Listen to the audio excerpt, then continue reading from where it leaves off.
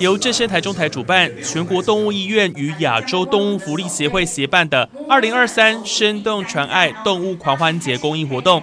今天马不停蹄的再出发，前往彰化县埔心乡凤霞国小以及罗措国小两所偏乡学校，结合音乐表演和动物生命教育，除了启发孩子对音乐更多的想象力之外，也灌输他们以安全正确的方式照养动物的观念，深具教育意义，大受好评。那今天正声广播电台能够结合我们的动物生命教育，跟我们对孩子一个心灵的一个美感教育哦，来做这样子一个非常有意义的音乐响宴哦，真的是非常非常的感谢。那孩子在这个中间也学习到了整个动物的一个一个欢愉啊，然后也一起庆祝了儿童节，那也学到了对生命、对不管是对人、对动物的一个尊重。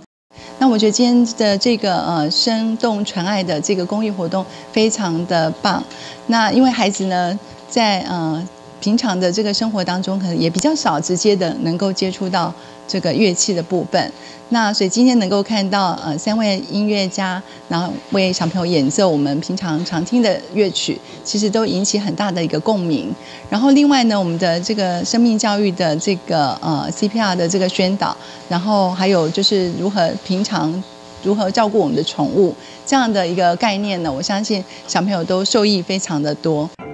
对于三位演奏家及协会老师为偏乡教育贡献一己之力。两所学校的校方也致赠感谢状，表达最深的谢意。而更令人感动的是，许多企业赞助单位甚至特别出席参与，包括彰化邮局副局长陈乐明、工商妇女协会理事长许秀珍以及温度咖啡负责人许增庸都到场领赏。对此，台中台张汉阳台长表示，非常感谢所有赞助伙伴抛砖引玉，发挥社会责任，让电台更坚定公益行善之路，不断将爱传下去。啊，那我们彰化邮局也本着就是说关怀社会的一个初衷哈，能够将这一份结合我们正声广播电台的这一个爱心的活动哈，那希望我们这一个活动能继续下去。那有机会我们彰化邮局也会继续秉持的这一个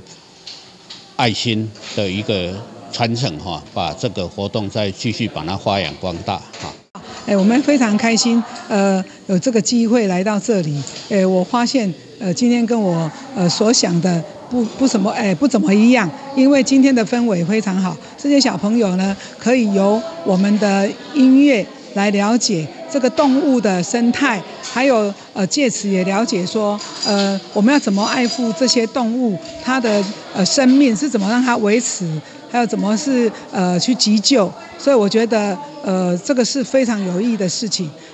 集结吉他、钢琴与小提琴的清新音乐响宴，以及培养正确动保观念的课程，因为机会难得，两所学校都请全力支持，小朋友也从中获得不少启发与学习。随着彰化场次今年圆满落幕，下个月我们也将继续前往苗栗的学校，照亮偏乡孩童的成长路。以上新闻由真实电台记者林恩宇在彰化县的采访报道。伤心的时候有我陪伴你，欢笑的时候与你同行，关心你的点点滴滴。掌声广播电台。